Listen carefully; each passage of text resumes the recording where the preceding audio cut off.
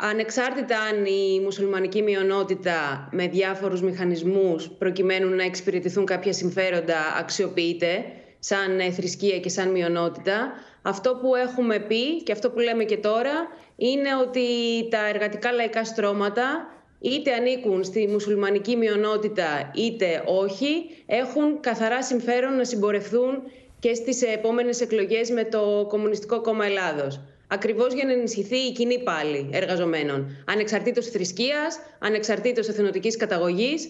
Αυτά που μας ενώνουν είναι περισσότερα από αυτά που μπορεί να χωρίζουν και γι' αυτό το κάλεσμα είναι πλατή και σε αυτή την περιοχή από το Κομμουνιστικό Κόμμα. Κυρία Σταματέλ, για το συγκεκριμένο ζήτημα. Κυρία Σταματέλο, εσείς τι λέτε για το, αυτή την ε, κουβέντα που γίνεται για την επιβολή ή όχι φόρων, για το ποιοι φόροι είναι, ε, ποιος θα φορολογήσει περισσότερο, ποιος λιγότερο, για το θέμα του ΦΠΑ, για το θέμα του ειδικού φόρου κατανάλωσης. Τι λέτε από αυτού εσείς; Να σας πω. Ε, τρία πράγματα να σας πω. Το ένα είναι ότι καταντά προκλητικό κόμματα που έχουν σηκώσει το χέρι τους και έχουν ψηφίσει μια σειρά μέτρα και νόμους που έχουν φτάσει τη φορολογία στο σημείο που είναι σήμερα για την πλειοψηφία των εργαζομένων των αυτοαπασχολούμενων είναι τουλάχιστον προκλητικό να συζητάνε ποιος θα μειώσει και τι και ποιος θα κάνει το πρώτο βήμα στο να αλλάξει το άδικο δίθεν φορολογικό σύστημα. Γιατί θυμόμαστε όλοι έναν, τον έναν μετά τον άλλον τους μνημονιακούς νόμους και ό,τι εφαρμοστικό νόμο περιλάμβανε να έχει γδάρει κυριολεκτικά με τη φορολιστία την πλειοψηφία του ελληνικού λαού. Θυμόμαστε όλοι να σηκώνουν το χέρι τους και να ψηφίζουν προϋπολογισμούς από τους οποίους αποδεικνύεται ότι το 95% τουλάχιστον των φορολογικών εσόδων προέρχονται από αυτά τα στρώματα και όχι από το, τους μεγάλους επιχειρηματικούς ομίλους.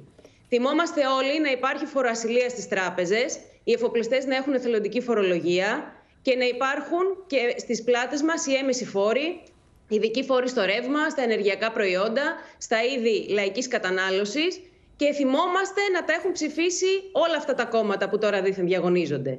Επίσης, ε, επειδή πολλά μπορεί να λέγονται σε προεκλογική περίοδο, υπάρχουν διάφοροι μαρτυριάριδες φίλοι και της Νέας Δημοκρατίας και του ΣΥΡΙΖΑ, όπως είναι η Κομισιόν, όπως είναι ο διοικητής της Τράπεζας της Ελλάδος, που παρά τα όσα λέγονται τώρα, εμείς καλούμε να κρατάνε πολύ μικρό καλάθι για το οτιδήποτε, αφενός γιατί είναι εδώ και σε ισχύ όλοι αυτοί οι φόροι, αφετέρου γιατί αυτό που φαίνεται σαν στόχος Της Ευρωπαϊκής Ένωσης, κάθε κράτους μέλους και της χώρας μας, σε αυτούς που παίρνουν βέβαια όρκους πίστης στην Ευρωπαϊκή Ένωση, είναι ότι θα συνεχίσει ακριβώς η ίδια πολιτική. Ξέρετε, τα ματωμένα πλεονάσματα που λέμε και τα δις που αποδίδονται έχουν από κάπου παίρνονται. Κάποιοι είναι πατημένοι κάτω, να το πω έτσι απλά, ούτως ώστε να παρουσιάζεται Είστε υποψήφια το συγκεκριμένο έργο. Είστε, υποψή...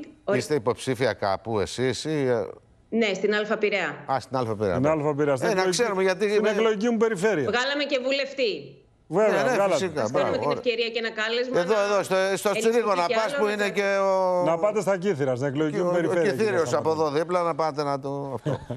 είναι στην λοιπόν, Αλφα Πειραιά. Πολύ ωραία. Πάμε... Πείτε μια κουβέντα κι εσείς. Ε. Απλά να σημειώσω ότι όλη αυτή η συζήτηση με την κοστολόγηση ε, ε, πρέπει να βγει το συμπέρασμα ότι γίνεται κόντρα σε ό,τι ανάγκη έχουμε. Δεν ξέρω πόσο κοστολογείται το να στελεχωθούν τα νοσοκομεία με μόνιμο προσωπικό ή πόσο κοστολογείται το να έχουν τα παιδιά δασκάλους, καθηγητές, σχολεία. 25.000 μόνιμες προσλήψεις. Ευχαριστούμε. 25.000 μόνιμες προσλήψεις.